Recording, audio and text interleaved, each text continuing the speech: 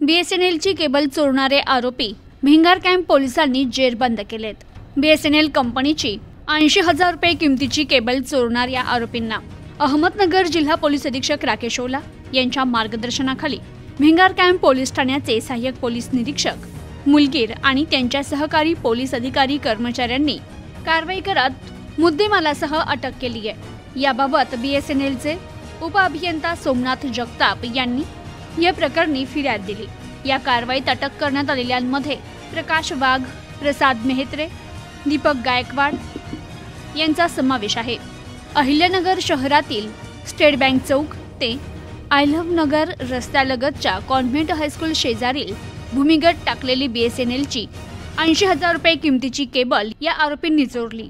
या आरोपींना भिंगार कॅम्प पोलिसांनी मुद्देमालासह अटक केली आहे bureau report news today twenty four Ahmednagar.